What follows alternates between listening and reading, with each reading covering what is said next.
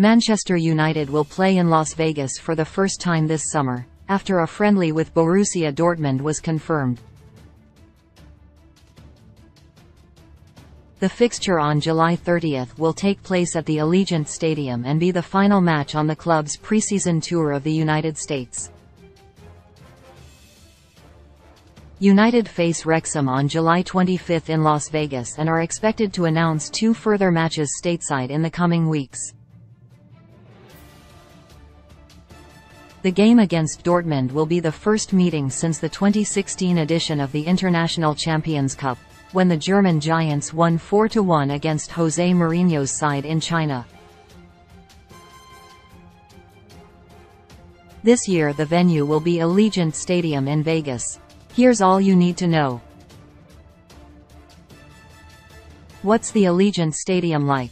The stadium opened in 2021 at a staggering cost of $1. 9 billion, making it one of the most expensively constructed stadiums in history. It is covered by a dome, meaning the stadium is fully enclosed and climate-controlled. A much-needed feature for United given their game with Dortmund will take place when local temperatures average 40 degrees Celsius during daytime. It is located in Paradise, a stone's throw from the Vegas Strip. The stadium's name comes from the budget airline Allegiant Air, headquartered in Summerlin, a suburb of Vegas. Who usually plays there? The Allegiant Stadium has been the home of National Football League side Las Vegas Raiders since opening.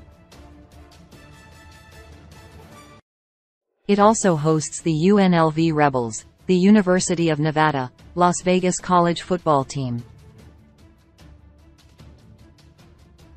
College football's Vegas Kickoff Classic and the Las Vegas Bowl have also been hosted there since 2021.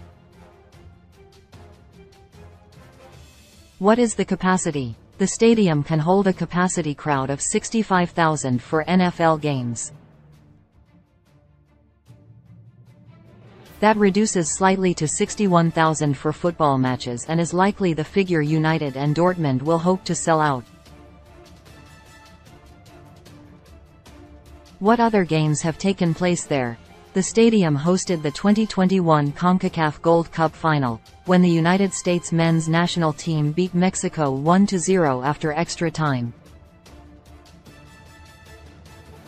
It also hosted the 2021 Leagues Cup when León edged the Seattle Sounders 3–2. Chelsea and Juventus played preseason friendlies there last summer against Mexican opposition in Club America and Guadalajara respectively.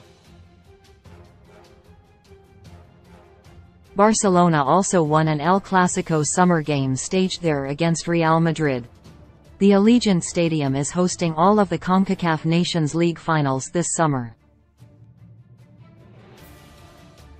Super Bowl 58 will also be held there in early 2024.